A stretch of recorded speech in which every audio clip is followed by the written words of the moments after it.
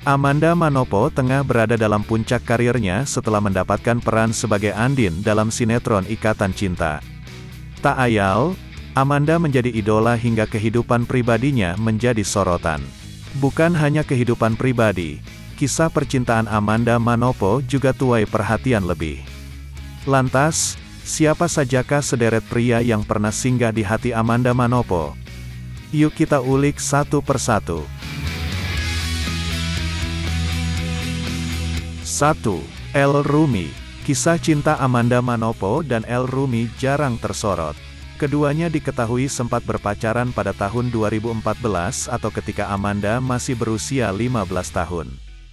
Dikabarkan, putra kedua dari Ahmad Dhani dan Maya Estianti merupakan pacar pertama yang Amanda Manopo anggap serius. Amanda Manopo disebut telah menjalin hubungan asmara.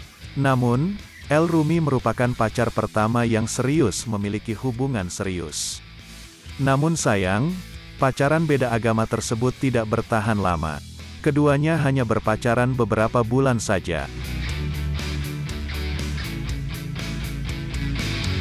2. Bio One Pasca putus dari El Rumi, Amanda Manopo Santer digosipkan menjalin hubungan spesial dengan Bio One. Rumor tersebut seolah diperkuat karena Amanda dan Bio terlibat satu proyek yang sama yakni sinetron Malu-Malu Kucing pada tahun 2015.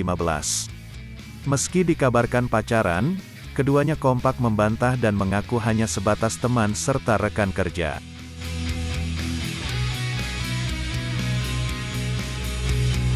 Tiga, Angga Yunanda. Lagi-lagi, Amanda Manopo terlibat pacaran beda agama dengan Angga Yunanda setelah terlibat cinlok atau cinta lokasi di sinetron Mermaid in Love. Tetapi, kabar pacaran tersebut dibantah oleh keduanya. Amanda dan Angga menyatakan rumor pacaran hanyalah settingan belaka dengan tujuan menaikkan popularitas sinetron yang mereka bintangi.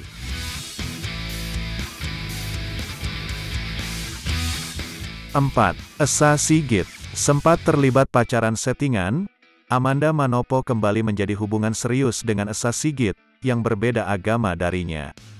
Keduanya berpacaran cukup lama dan terlihat romantis. Bahkan, saat Amanda menginjak usia 17 tahun, ia berniat untuk menikah muda. Amanda Manopo sempat menyatakan sosok Esa Sigit sangatlah dewasa.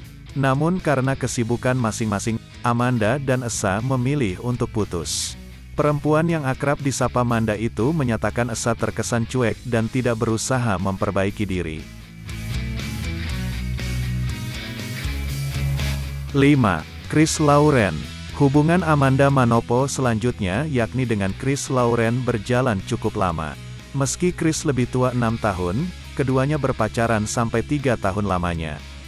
Bahkan, Amanda dan Chris selalu menyempatkan diri untuk berfoto mesra hingga dikira mempersiapkan prewedding. Namun sayang, Amanda Manopo dan Chris Lauren putus pada awal tahun 2020. Keduanya berpisah setelah mengaku tidak ada kecocokan lagi. 6.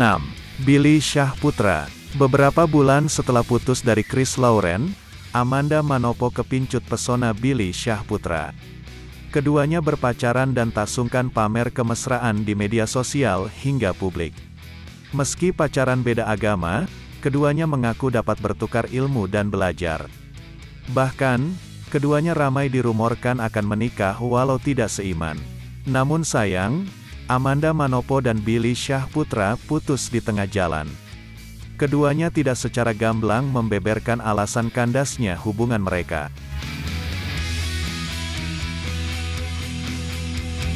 Itulah sederet artis pria yang sempat singgah di hati Amanda Manopo.